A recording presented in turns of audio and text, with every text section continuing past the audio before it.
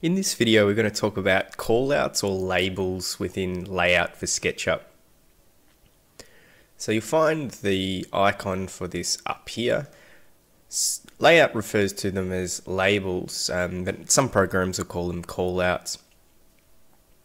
Now, we've got an example of one here. They're made up of a leader line, a shoulder line, the text, and then also you may have ends at each end of the line, which might be arrows or dots, and they can be other things as well. What we use them for is for labeling information within a drawing. To create one, we simply select the label tool and we use three clicks. The first click is at the end of where the object we would like to point to is. We click once we move our mouse out and this creates the length of the leader line. We click. The next click creates the length and angle of the shoulder line and it'll default to coming out directly sideways to straighten up so that your text is horizontal on the page as it usually is. After that then we simply type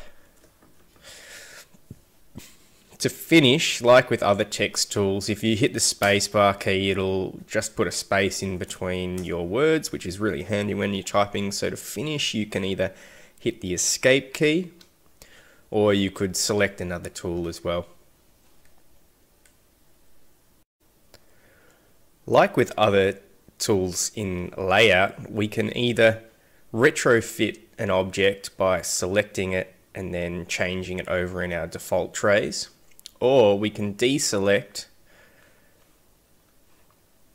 come to the tool, and now set new standards before we start, and this will apply to all future ones. So I've changed this to an italics, and now we should find that as I put it in for the first time, it's defaulted to be in italics. I could also do this for many of the other formatting options within here and the color of the line, etc. There are also other options that we can edit and you'll find those within the shape and style dialog box. So I'm going to select this call out or label here.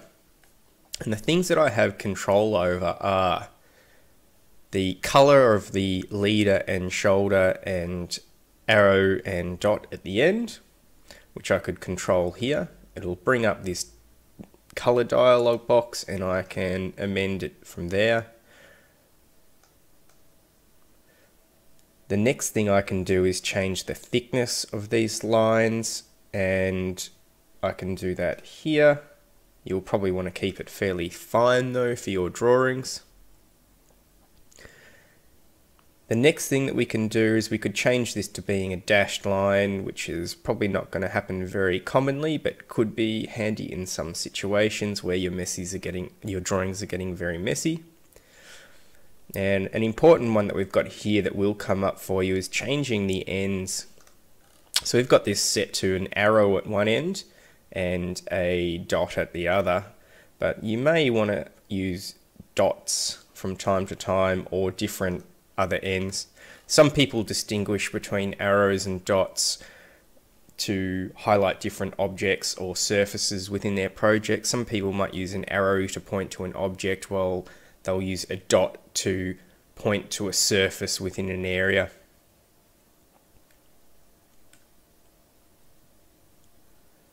With these dots and arrows, we're also able to change the size of them.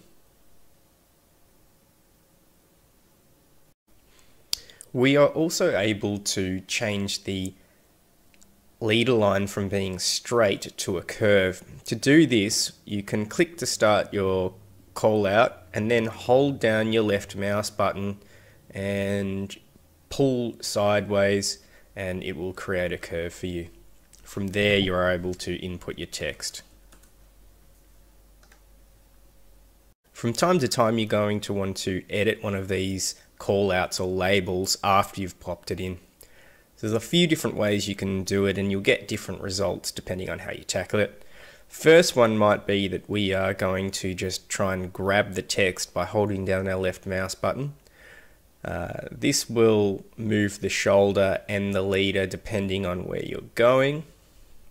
The next method that we have is to double click directly on the text and this allows us to change the text. We can also double click on the leader line or shoulder line and you'll notice these dots come up. This allows us to change uh, things individually one one point at a time. So I could change the angle of my leader and then I could detach the shoulder from my text and move that around as well.